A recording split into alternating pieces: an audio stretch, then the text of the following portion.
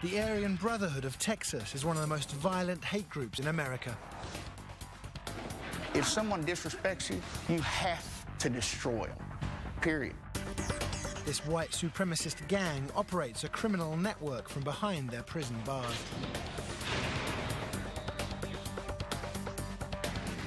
You know, I really ain't supposed to do this, but if you disrespect us, we're gonna pay you back. Now they reveal their drug smuggling secrets. What we do is we'll liquefy the methamphetamine and we'll bring it over the border liquefied. Their plans to assassinate a policeman. This cop cold blood murdered him. And one high ranking general's intent to ignite a bloody gang war so he can take control of the Aryan Brotherhood of Texas. I'm gonna get it, or I'm gonna die trying to get it.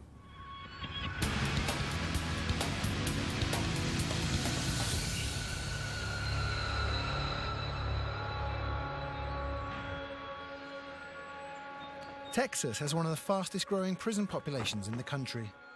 The number of inmates has tripled in size in the past 20 years.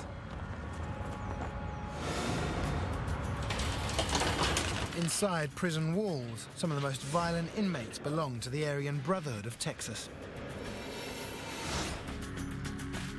What started behind bars has now spread, with nearly 5,000 members running a criminal syndicate, both in and outside of prison.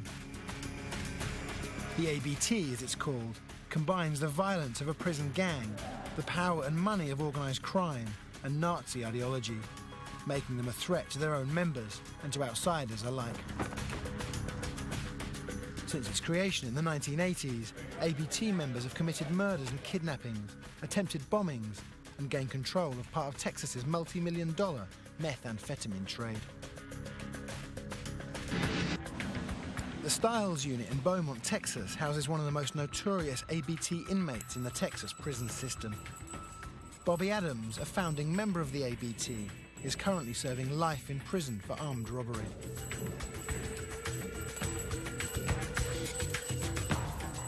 Adams and a group of white inmates founded the ABT to protect themselves from the other racially divided gangs in Texas prisons.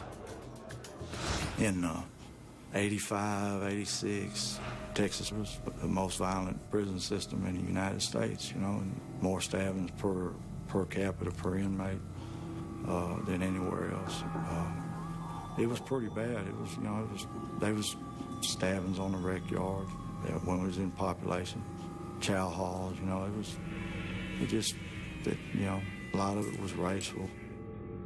My idea was that we couldn't organize the Mexicans, we can't organize the blacks, but we could organize the whites. The ABT is governed by a council of five generals, collectively known as the Wheel. Each of these generals controls a region in the gang's primary territories, Texas and New Mexico. It's set up on a military type deal, but it's really three things for the membership. The spiritual part of it is the brotherhood, the financial part of it as far as making money, and, and physical. We come together to counter any type of problems, you know. Because it's outnumbered by non-white gangs in prison, the ABT operates on pure terror. They believe the more ruthless the violence, the stronger the message. If you mess with us, we were going to get you right.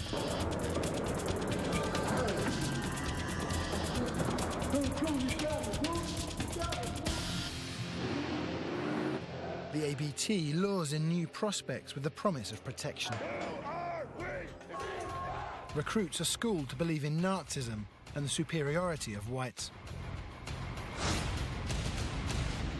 Tattoos of swastikas and SS lightning bolts indicate their allegiance. Gang members must earn the right to wear these bolts by committing acts of violence for the group. This ABT member has agreed to speak, as long as he can hide his identity. The cuts on his face are from what he refers to as an accident the night before. He has been an ABT member for over 10 years and believes he's defending his heritage. Our race is being bred out of existence right now. In Texas, we're now the minority. It's the breeding out of who we are. You know, we're warriors. I've been a warrior my whole life. I'll be a warrior till the day I die. ABT is vicious. There's a vicious part of it that is murders, and they're gonna get their respect, come whatever it takes. They're gonna get their respect.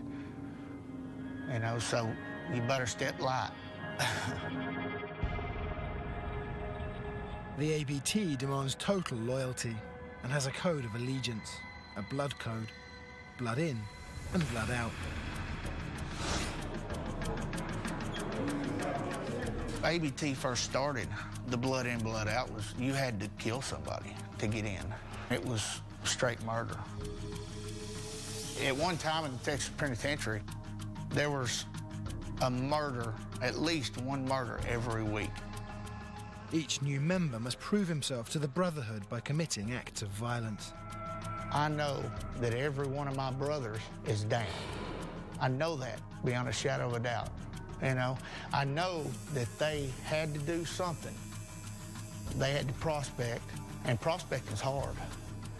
It's hard because any, any, any brother could just walk up to you and say, hey, go whoop that toad over there. And you're going to go have to whoop that black guy. You're going to have to.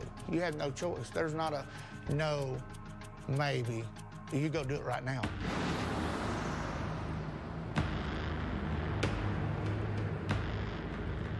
The rising level of violence associated with the ABT has captured the attention of the Anti Defamation League, a watchdog group that monitors white supremacists and other hate groups. ABT violence is literal overkill.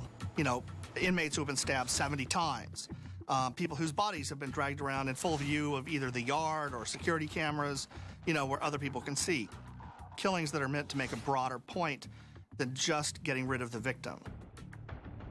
Anti-Defamation League has tracked racist prison gangs for, for quite some time. And one of the reasons we've been spending more time on this is because increasingly these groups are present not only in the prisons but on the streets. And so they're causing more problems than before. And so we've been devoting more time to them than before. Racist prison gangs combine the criminal know how of organized crime with the ideologically motivated convictions of a hate group. You do see some crossover, for example, between racist prison gangs and other types of white supremacists. You do see the presence of hate crimes among their criminal activities.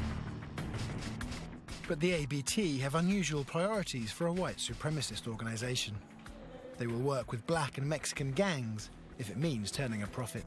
Their organized crime aspect comes first, and ideology comes second. With the Aryan Brotherhood of Texas, for example, they're even explicit about this in their official documents that the business comes first. They will make a strategic alliance with, for example, a Mexican gang for some particular reason, like control of the drug trade in a prison or some mutual benefit. I'm about making money, and uh, you know, hating somebody it don't make me a dime. I don't care if it's a little green man from Mars. If he wants to do some business and he treats me with respect, I'm going to treat him with respect, you know. The actual amount of profit linked to ABT drug trafficking is unknown. But last year alone, nearly $150 million worth of meth was seized in Texas.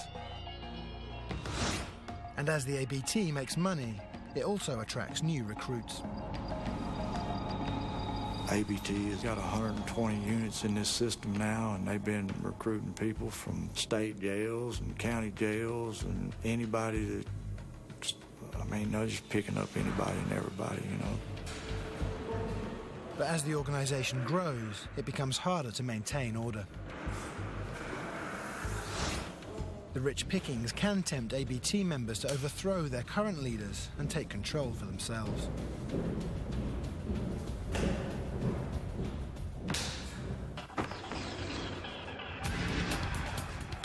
And one ABT general has decided to do exactly that. I'm not scared of them. I don't fear them. This is the end of a chapter and the beginning of a new chapter. And next, revenge breeds revenge as a policeman becomes a target.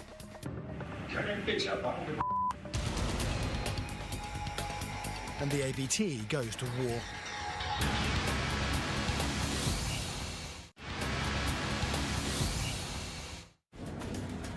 In Albuquerque, New Mexico, 340 kilometers west of the Texas border, the city's regional correctional facility houses one of the commanding generals of the ABT, James Thompson.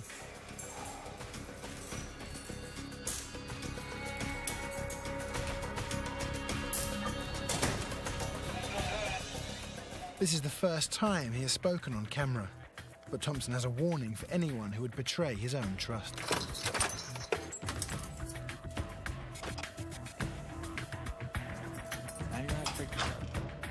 Know, I really ain't supposed to do this, but the other generals, you know, they're they're behind me.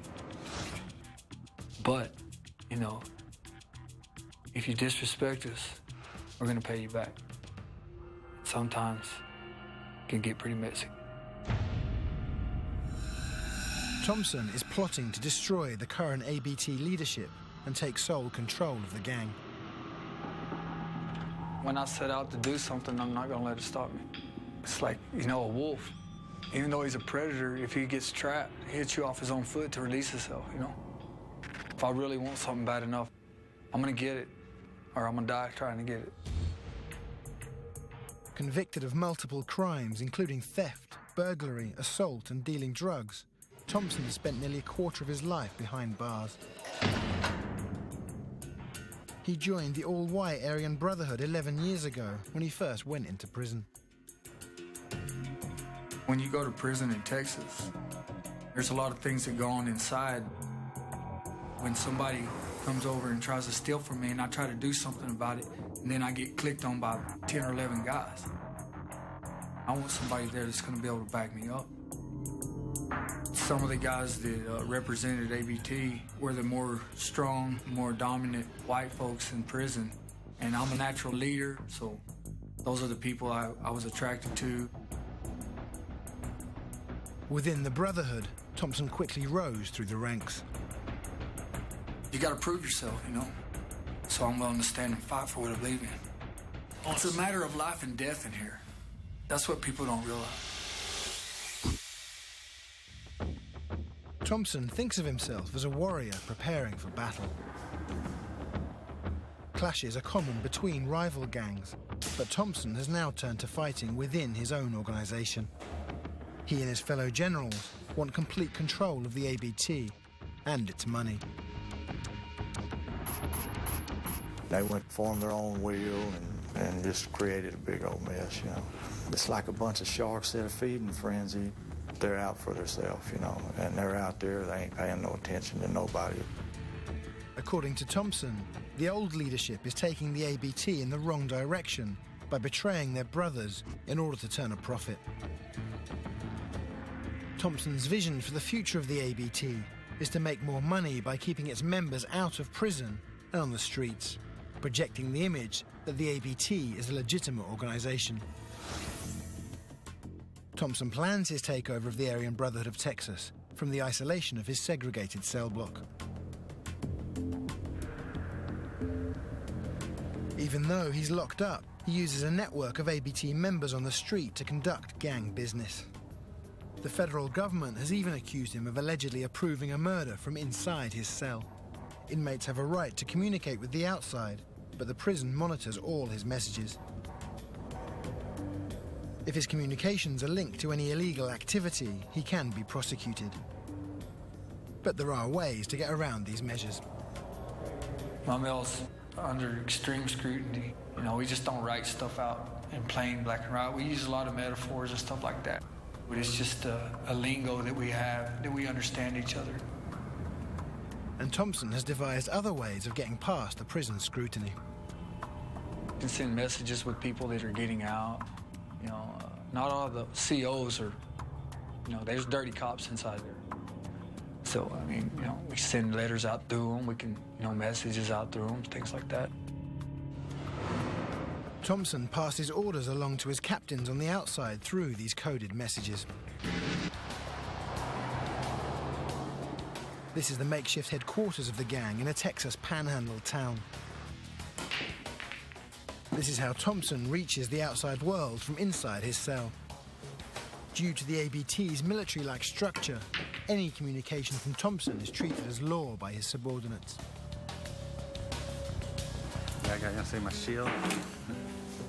The senior captain, known as Lucky, reports directly to Thompson and the other ABT generals. So you follow the order, period. Whether you think it's right or wrong, it don't matter. You follow the order.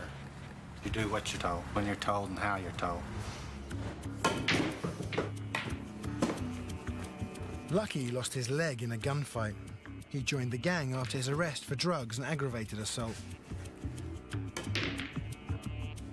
I've been pretty mean in my life. I hit a confidential informant in the head with my crutch and knocked his ear off. And when the fight was over, I put his ear in my pocket. And later that night, when they arrested me for aggravated assault and booked me into jail, I laid his ear on the counter.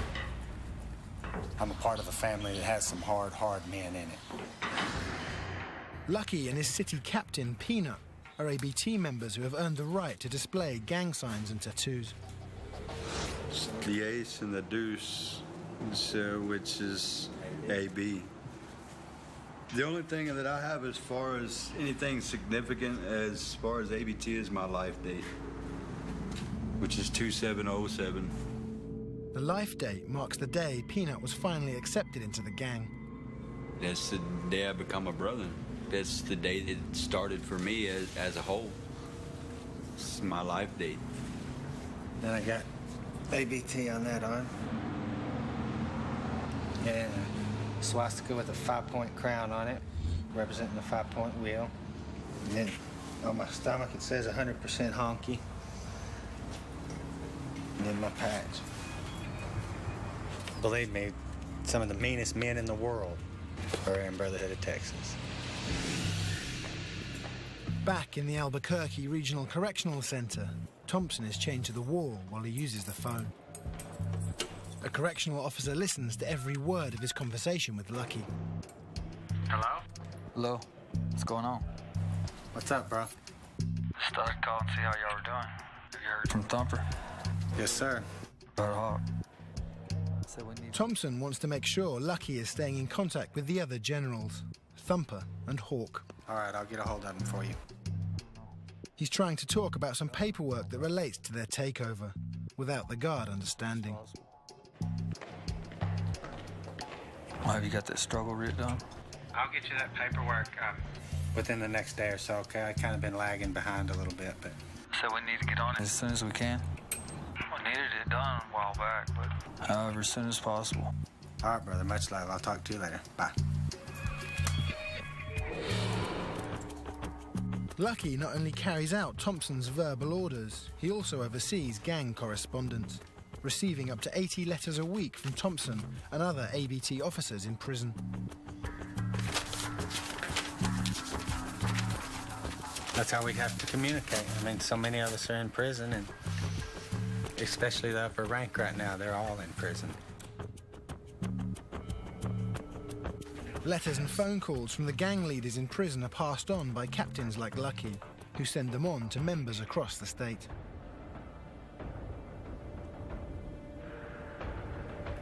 And I'm just telling them, you know, a lot of the stuff that's going on now is coming to an end so we can move on to the next stage.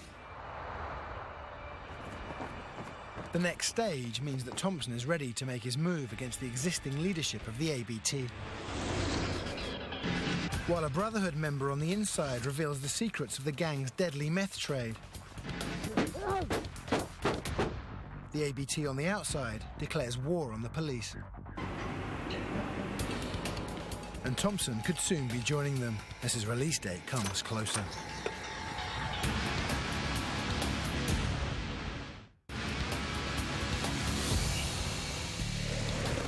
The Aryan Brotherhood of Texas is one of the most violent white supremacist gangs in the US. But in the world of high stakes drug trafficking, their white supremacist beliefs often come second to their desire to make money. The highest percentage of their income is from methamphetamine. Because of its centralized location, Houston is a major distribution hub for the meth trade, which also makes it the center of power and profit for the Aryan Brotherhood of Texas. Millions of dollars in drugs and drug money flow through the region each year. In the Harris County Jail near Houston, Chevy Parnell is serving time for robbery. Parnell has been in the Brotherhood for 15 years. Yeah, I'm in for life. I'm bolted in. It means I, I shed blood for the family and uh, shed blood for the organization. I, I'm in the enforcer branch. It's more or less the police arm of the, the organization. Parnell is loyal to the existing leadership. He's trying to stop James Thompson's bid to take over the gang. The Aryan Brotherhood of Texas split, all right, and we're trying to get the bros that split back in the line. So we're in we're in a civil war. It's kind of bloody. There's been several murders. Like Thompson, Parnell is segregated from the prison population. I'm considered a high value target because I've been in, affiliated with the Brotherhood for so long. So uh, they they segregate me in order to keep me from hurting anybody else or to keep me from being hurt myself. Parnell, like Thompson, orchestrates his business from his cell. As prison officials monitor his communications with the outside. He could be prosecuted for any illegal business he conducts, so he uses code to evade the guards and relies on members on the outside to keep the lines of communication open. I see them phones over there. They got a phone that rolls around each each cell. We call it the cell phone. and uh, I use three-way call to whoever I need to call. And uh, I have a, a, sergeant at arms and uh, several foot soldiers under me. The Brotherhood is getting rich by muscling in on the methamphetamine trade in Texas, and Parnell is right in the thick of it. My area of expertise is I, I cook methamphetamine here in Texas. And they're importing it by the ton. We do a lot of business with the Mexican cartels. What we do is we'll liquefy the methamphetamine and we'll bring it over the border liquefied because uh, it doesn't smell as much when it's liquefied. And we don't have too much problems with the cartels because either we're doing business with them or we do it under the radar. According to Parnell, the gang traffics meth through a large network that includes outlaw motorcycle clubs and other white supremacist gangs. They often finance the transactions by robbing banks. A lot of times we'll have bulk shipments come across. A pound of methamphetamine goes for about $35,000 and we'll have several hundred pounds come across. We'll have to get with the upper members in order to secure that much money, or we'll have to what's called hit a lick. We'll uh, hit a bank to secure that much funds in order to pay, or we get it on more or less a layaway basis. They'll give it to us and allow us to pay it off in installments as we sell it. Then we pay the money back slowly. Methamphetamine is a manufactured drug that acts like speed. It's extremely addictive. Excessive use causes paranoia and can fuel violent and outrageous crimes. This video shot from a hidden camera inside a stolen car shows a man high on meth as he evades police.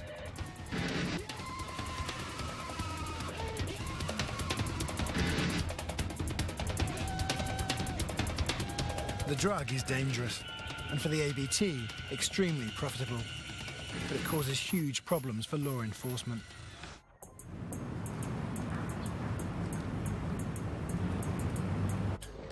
The town of Corpus Christi is a major stop on the ABT's meth trafficking route, from Mexico to their distribution hub in Houston.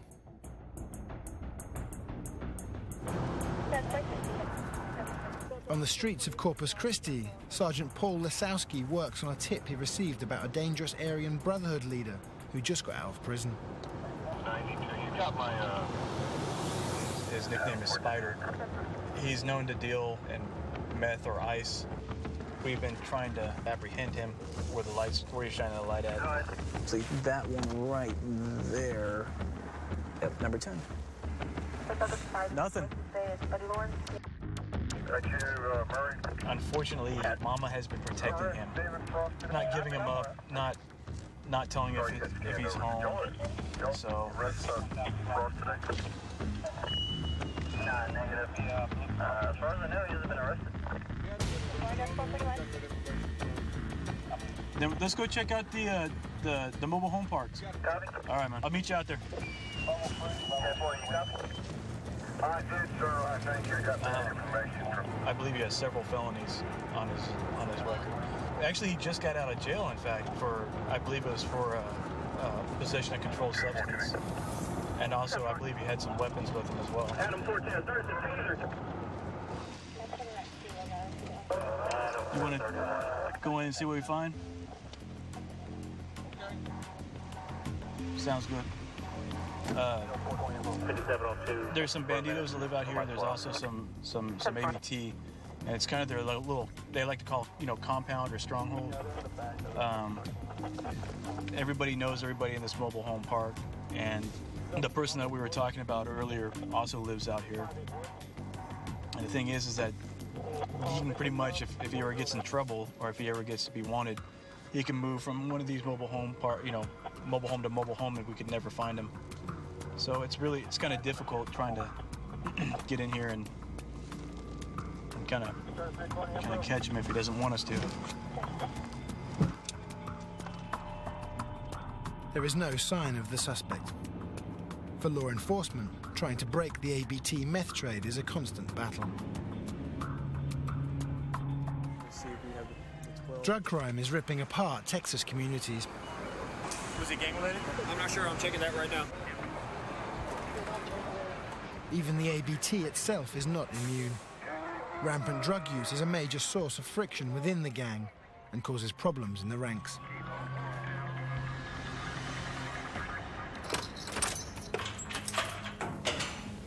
But Thompson wants to eradicate meth use from the ABT entirely.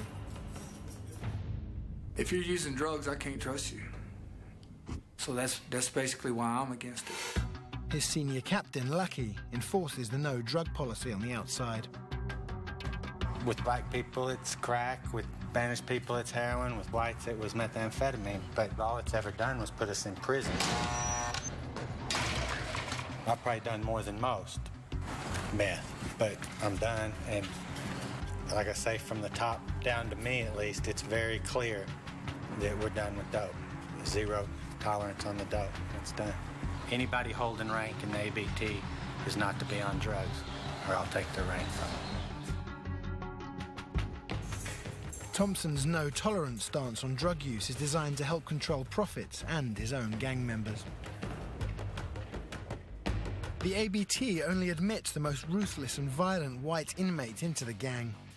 Murderers like Jason Trooper Hankins, who once ran the Dallas region as an ABT general. Today, he's serving a 10 year sentence for murder.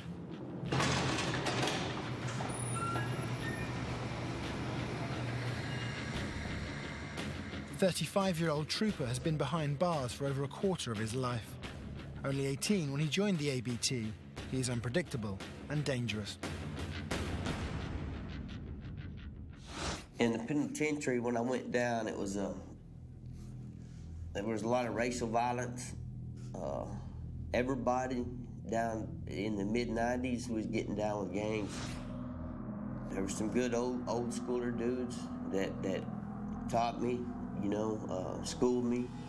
As a young recruit, Hankins learned how the ABT maintains power through terror.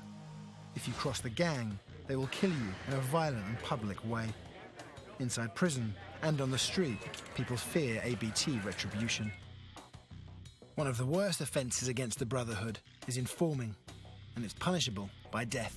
If you snitch, if you're an informant, I mean, you're automatic. Got an X on your back, a hit on you. On August the 1st, 2006, Trooper and two other gang members turned on an associate they believed had broken the gang's most sacred rule. They feared he was giving police details of gang crimes. So the ABT murdered him. The guy was sedated, beat up, took to one location, and then took to another location, wrapped up in a chain link fence with cinder blocks, taken to a pond where he was put into the water and then stabbed in the throat, down the throat, with a knife about that long. Stuck it down his throat. Dallas police detective John Palmer worked this murder investigation and gathered the evidence that led to Hankins' conviction. They're trying to use terror to frighten people. They, they want to make sure whoever they're dealing with believes that they will carry out any threats they issue. Detective Palmer and the Dallas police have been struggling to contain a rise in ABT violence. I think we can limit them. We can be vigilant. We may slow them down, but I don't think we'll ever stop them. But as police pressure the gang, the ABT fights back.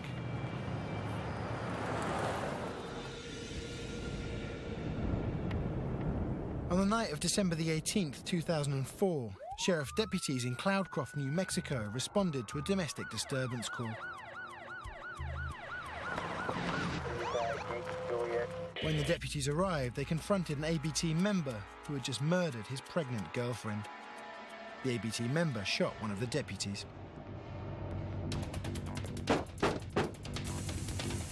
We have a shot fired. Bob, you okay? While the deputy searched for his partner, the ABT member opened fire again.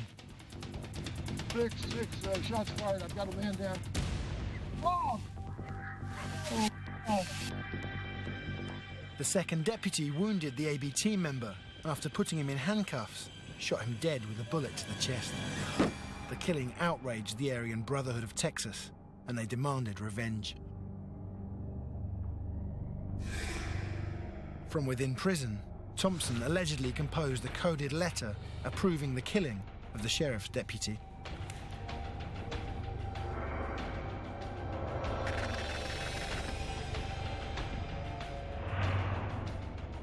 An ABT meeting was assembled to plan the murder. Undercover federal agents, posing as ABT members, infiltrated the gang and set up a hidden camera. The New Mexico ABT leaders had no idea they were being recorded. Turn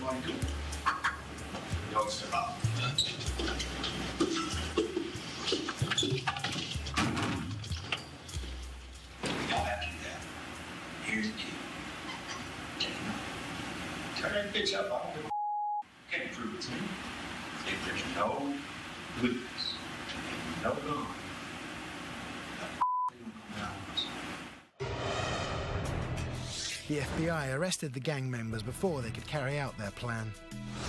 They charged two ABT gang members with conspiracy to kill a law enforcement officer. Both men received 10 years in prison. Although James Thompson was accused of writing the letter approving the killing, his trial ended in a hung jury and he was acquitted of all charges.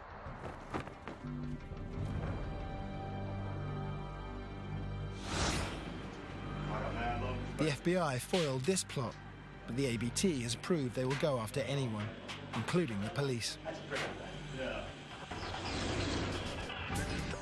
Now, a rival white prison gang threatens the ABT.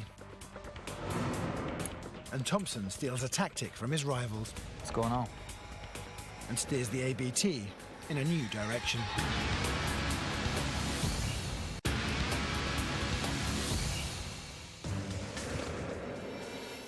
The Aryan Brotherhood of Texas is a prison gang whose power extends far beyond prison walls.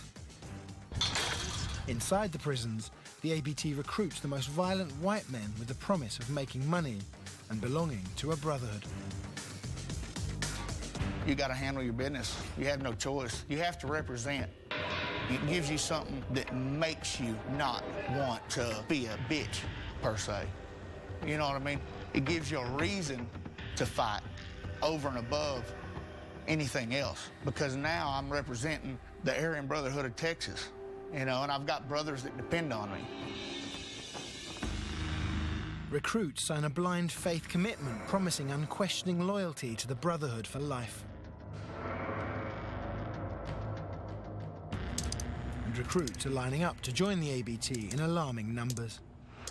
Watchdog groups like the Anti Defamation League monitor racist activity and are working to understand the growth of racist prison gangs. Because the gangs guard membership information, exact numbers cannot be known. But it is believed that one in every 10 inmates in the US is affiliated with a racist prison gang. Several things are fueling the growth. Success breeds success. in some respects. So if, if these gangs are perceived as respected um, in the prisons, they can attract more recruits. Um, the fact that these gangs basically deal in meth um, makes them very attractive to parts of the country where meth is increasingly becoming the drug of choice. And so they can cook and sell and distribute meth. Uh, they get more followers that way as well. People kind of want to get in on the action.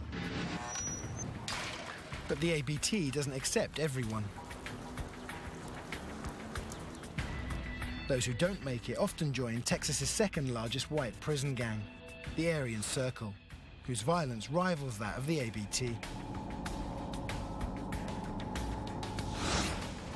But unlike the ABT, which puts profit over ideology, the Aryan Circle claims to promote white pride and separatism as its top values. Greg Freeman, the leader of the Aryan Circle, has been in prison for 15 years, serving time for a murder he committed when he was 16. We believe in uh, separatism. We have the right to an, an identity that we shouldn't be shamed for it, shouldn't be guilty for being white. We believe in the preservation of our, our heritage, our culture, our traditions, and we want to uh, make sure they stay. Freeman joined the Aryan Circle after entering prison. When people come to prison, as soon as they come here, the, the racial lines are drawn. There, there is no, I'm not going to acknowledge my race. If you're black, you're immediately going to the black side of the, the unit. You segregate yourself. It's, it's, it's, a natural segregation. In the world, you don't have to because you can, you can duck and dodge and do your own thing. But in here, you're forced to deal with it.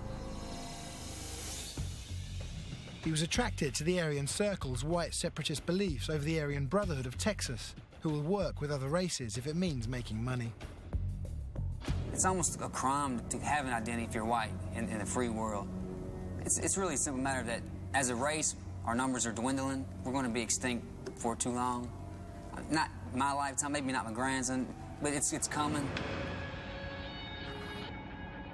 Unlike the male-dominated ABT, the Aryan Circle sells itself not as a brotherhood, but as a family that includes female members.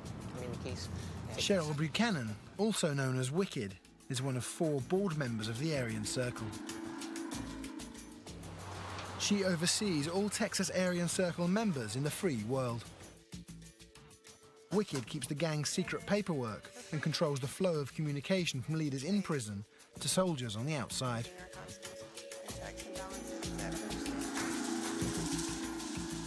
I just have a lot of letters.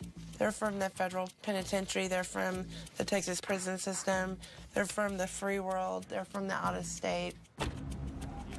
Her fiance, Brett Gregory, is also a member. We are the, probably the most organized white group, both inside and outside the penitentiary. We are individuals with uh, white separatist ideas and values. We are for the betterment and the procreation of the white race and for uh, family. Both Wicked and Gregory have done their own time in prison. Uh, I got busted with uh, heroin, cocaine, and uh, methamphetamine. Gregory was 18 when he was incarcerated. He credits prison with forging his white supremacist beliefs. You know, you go to the penitentiary and you pick a side, and that is the side that you were stuck with. And a lot of whites, you know, they, they don't they don't have really a choice. You know, you have to, you know, represent yourself, uh, and, or it's going to be bad.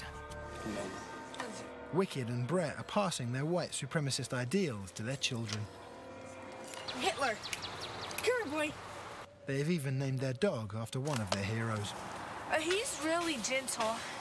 He's a loving dog. Hitler, come here. The couple claim they are now working to change the violent and criminal image of the Aryan Circle. We believe in uh, being positive, productive members of society, you know, sticking with our own race, and teaching people to live healthy lives outside the walls. Though the Aryan Circle professes to no longer being a criminal organisation, Deputy Mike Squires is sceptical. I really don't buy it because, uh, you know, hey, if, if AC wants to get out of the game of being a criminal group, hey, I'm all for it. but do I really think that's going to happen? No, I don't. Either way, the mainstream message of the Aryan Circle is only fueling its growth in membership. And Thompson, of the Aryan Brotherhood of Texas, is looking to copy that success.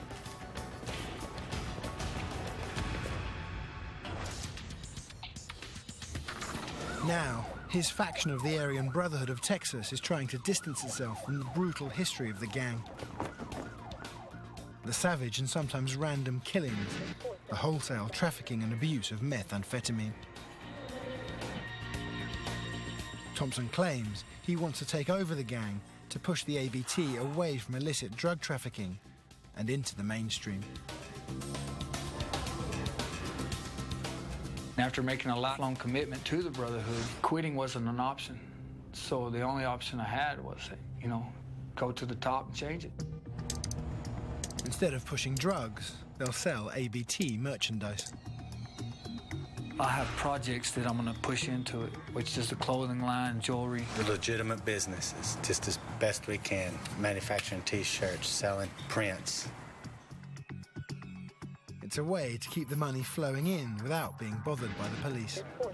I can venture out into uh, roofing, plumbing, anything that a bro's got a talent at doing, I can build a business around him.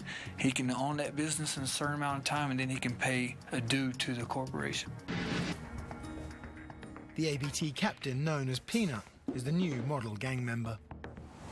I'm in the process of learning how to be a crane operator, and and I'm strictly legit, legitimate. I mean, I, I don't do drugs no more. I'm clean. I own my own house. I've only been out about nine months, and I've already bought my own house, bought my own car. I mean, got a good job. Mm-hmm.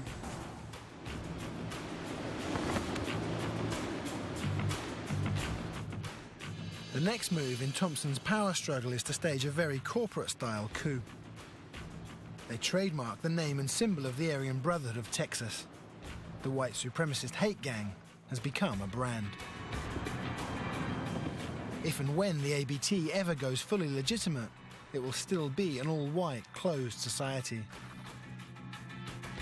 But the ABT has always been driven more by money than by principle.